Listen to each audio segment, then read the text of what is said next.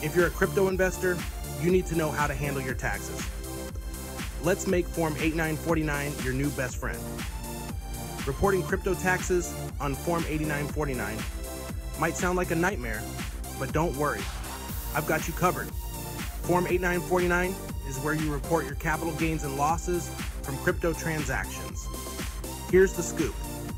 First, you need to know every detail about your transactions, dates, amounts, and even the prices at the time of the trades.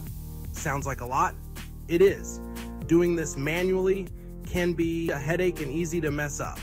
Enter CoinLedger. This tool simplifies the whole process by automatically importing your transaction data saving you time and stress. One click and you're done. But if you want to tackle it yourself, here's the drill.